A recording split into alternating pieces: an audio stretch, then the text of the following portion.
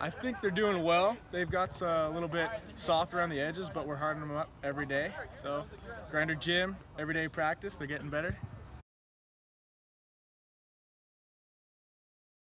I have Brandon, Clayton Cervantes, Pedro the Animal, uh, and the regular boys, uh, me, Darren, and Parker.